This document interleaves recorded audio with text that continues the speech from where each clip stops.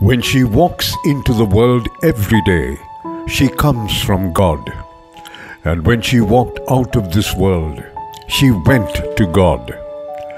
A lifelong Christian who anchored her life on the Lord she came to know, began her day with prayer and ended her day with prayer. Her phenomenal achievements and the success of all her endeavors, despite the many challenges she faced, rested on her unflinching reliance on the divine. On 7th May 1929, Sivagami Dasanayake was born in Northandia to Clifton Dasanayake and Emibel Correa. The Correas were a prominent family from Chilaw. Amy Bell Correa was an old girl from Ladies' College and a gifted pianist who often accompanied the choir. Siva's great-grandmother was the wealthy aristocratic lady from Sabaragamuwa, Iddamalgoda Kumarihami. Having a father from a Buddhist background and a mother from a Christian background, Siva grew up tolerant of all religions. Siva's grandmother Eugenie Artigala Correa had a tremendous impact on her and her sister Srimani. Siva's oratorical skills and enormous self-confidence was inculcated from her grandmother. At the age of 10, Siva entered the hostel. Her mother handed her over to the principal, Gwen Opie, who cared for Siva and her sister throughout her tenure. Siva enjoyed her stay in the hostel. She was dorm prefect, hostel prefect, games captain, and Los House captain. Siva was born to lead. A fellow hosteler recollects, she would make me make my bed every day, often standing in her characteristic pose, hands on her hips, till I got it perfect. She made a woman of me. Siva immersed herself in all school activities, whether it was acting in the Kala Ulela or playing tennis. The school always came first.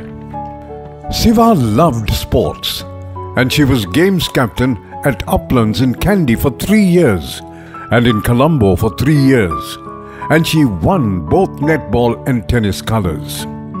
With the staff, she took the responsibility of organizing all sports activities, including the sports meets.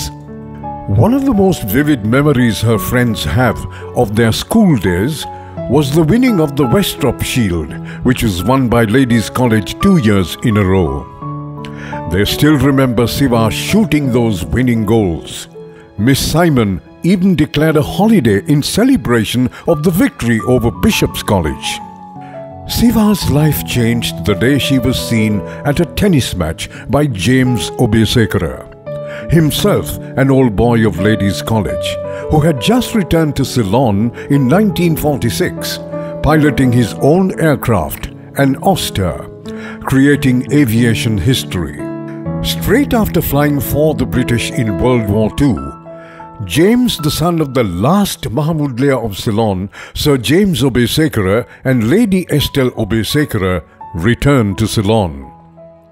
However, Miss Simon would not let Siva marry James until she had finished captaining the Ladies' College netball team to victory in the Westrop Shield. In the morning, she was in school uniform. In the evening, she was a bride in the school chapel. The whole school was present for the wedding. The organist was Maureen Seneviratne, her friend, who played centre in the netball team. Ladies' College was everything to Siva. Most of the buildings in the school had some association with her. James and Siva lived in front of the racecourse. Siva graced the races with style and simplicity. After marriage to James, Siva plunged into politics.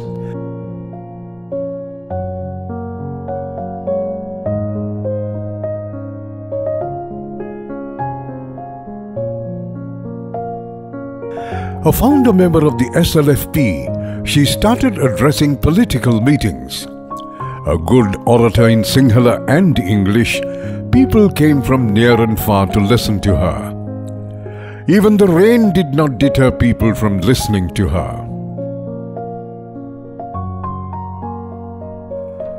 She became MP for Mirigama in 1965 at the age of 36 and sat in the opposition for five years. In the next parliament, she was appointed at first Deputy Minister and then Minister of Health. Siva helped to develop the preventive medicine sector, which had been a low profile subject up to that time. It is impossible to enumerate the number of programs Siva pushed through the Thriposha program, assisted by that other indefatigable Ladies' College past pupil, Dr. Brighty Dimel, is one for which the mothers and kids will forever rise up and call them blessed. The multidisciplinary approach Siva adopted through a multi-ministerial committee to carry through her family health programs won for Sri Lanka the first UNFPA grant of US dollars 6 million awarded to a developing country. In 1976, the UN acclaimed Sri Lanka's family health program as a model for the world. 1977 saw Siva elected as Vice President for Asia at the WHO conference in Geneva. She was the first lady Speaker of the Parliament in the Commonwealth.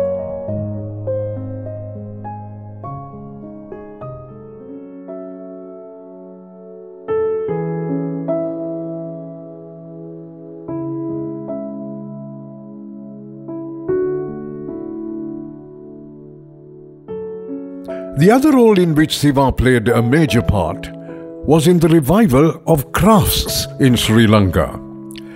At the bottom of the scale were the neglected craftspeople whose skills were dying out for lack of governmental support and national recognition. And because they did not earn a fair price for their products.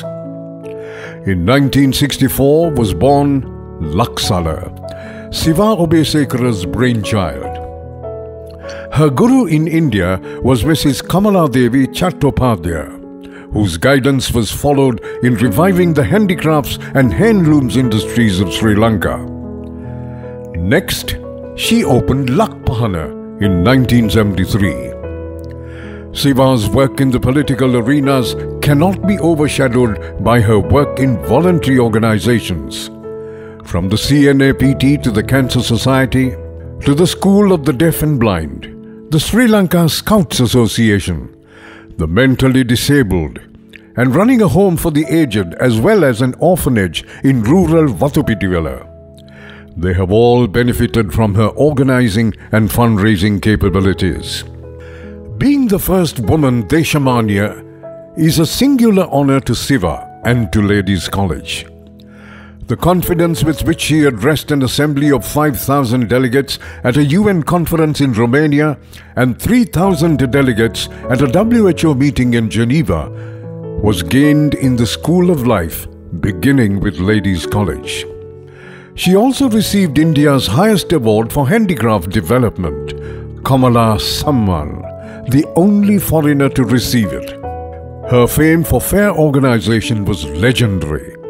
She helped St. Thomas's College and St. Thomas's Prep too, and in appreciation of the millions she collected on their behalf, Right Reverend Cyril Abhenayake had her picture hung in the Hall of Fame among other eminent Thomians. In spite of her important and onerous duties, she still found time for her college, organizing ladies' college fairs. On Prize Day 1984, Mrs. Siransi Gunawardana, principal, presented Siva with a gold brooch bearing the college crest for her services rendered to the school, the only past pupil to receive such a prestigious award to date. From being World Craft Council President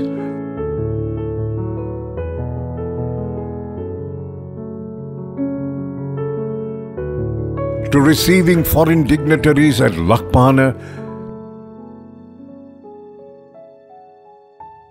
to participating at the Crufts Dog Show at the UK, or dancing the baila or the tango. She was essentially a family person.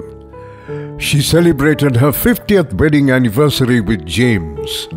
She was happiest spending time with her family and her Lord, to whom she used to talk as to a friend.